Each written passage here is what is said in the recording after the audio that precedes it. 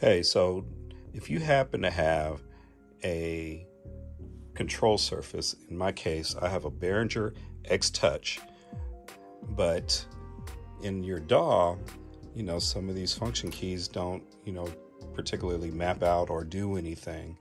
Um, I'm going to show you what I did in order to be able to gain the functionality of some of these buttons and especially assign them to uh, shortcuts. So come alongside and uh, let me show you what I did in order to uh, be able to gain functionality these buttons inside of my DAW. Okay, so I'm just going to tell you what I did for my particular situation. Um, I initially did it inside of Ableton, pulled it over, you know, installed it on my uh, iMac as well, and uh, where I run Luna, and it's working great over here. So um, I used a, an app called MIDI Shortcut. You know, picked it up. You know, 25 bucks or so, somewhere in there. Um, went to a website. Um, I can't pronounce them. It's like how how te- technique how to technique.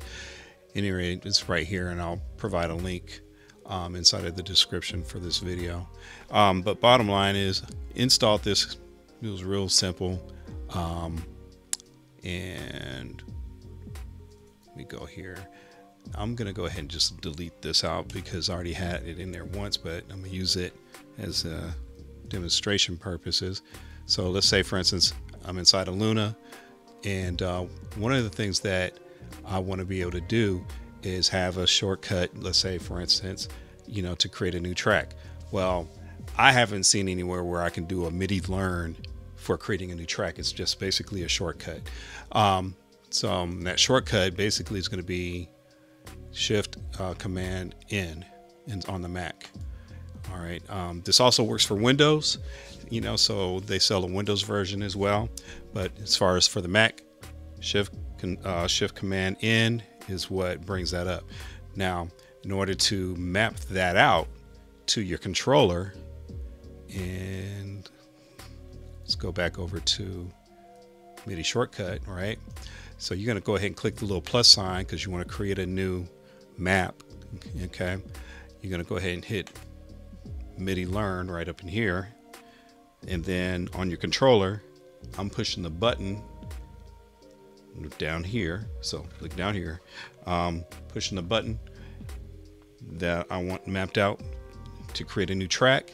And inside of MIDI shortcut, it's capturing that. So then I'm going to go down to the second learn to capture the shortcut so that way it can map it out.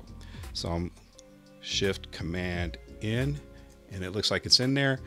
Down here in the description it says shift command plus command plus n. I want to change that because I want to give it the name for what it, it's actually doing. In my in my particular case it's creating a new track. New track. Okay. Um, and then I'm going to enable it up here. So very important to make sure you enable it. Can see how it grays out when it's not enabled. So enable it so that way it's actually active. And um, right here, this is where you can actually set it to whatever controller you have. In my case, I've got the X Touch by Behringer, and I want it to go to the internal. Um, so the other thing too is I like to save my configuration. So on the menu here, click File, Save As, and I already got it call. I call it Luna configuration, and I'm just going to save it. Overwrite the other one that I have in there. Now, I'm gonna close this out. It runs in the background up in my little tray up here. I have it set up to even start at login, so when I first log in, it'll automatically fire up and just run in the background. Doesn't take up hardly any CPU at all. All right, now inside of Luna, I'm just gonna go to my control surface. I'm gonna hit the, you know, the button on my control surface and bam. Notice here it came up and said new track. It had the little, the little hint button. So every time I press that, it says new track. And my create new track dialog pops open and I can just go ahead and handle my business from there. And that's it. All right. MIDI shortcut. Hope that helps somebody out.